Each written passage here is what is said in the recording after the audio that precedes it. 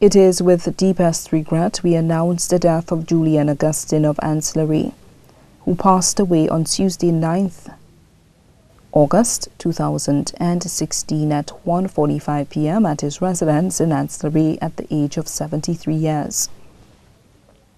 Left to mourn two sons, Andrew Martin Augustine of Precious Moment Digitals of Babonneau, Albert Terence Augustine, Catters Welding Service of Ancillary, six stepchildren, Sylvina Frederick, also known as Lena of Anse La Raye, Peter Frederick and family of Anse La Raye, Justine Frederick of Anse La Raye, George Frederick, also known as Good Boy, and family of Diramo, Cornelius Frederick, also known as Corny, residing in Canada, Aloysius Frederick, also known as Orty or Grace, and family of Balata. Two sisters, Virginia Augustine, Cece, residing in Barbados.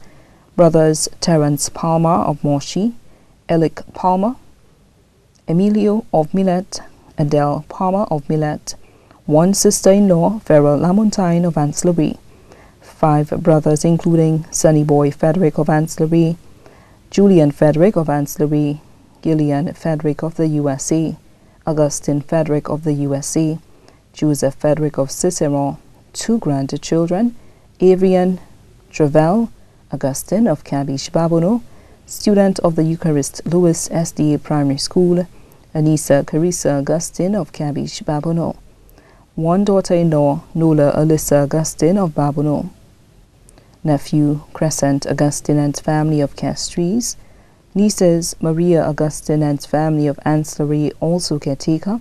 Virginia Augustine, Rosava Augustine and family of Londonderry. Albina Augustine residing in St. Thomas. Magdalena and family of Anse La Raye. Luciano Geese and family of Castries. Other relatives and friends.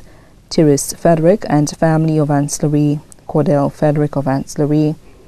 The Frederick family of Anse La Raye and Castries the Augustine family of Anse La Raye, Millet, Castries, Soufrière, Londonderry, the Palmer family of Millet and Castries, the Florenville family of Babonneau, Cabois of Anse La Raye, Mothers and Fathers group of Anse La Raye, many other relatives and friends, too numerous to mention.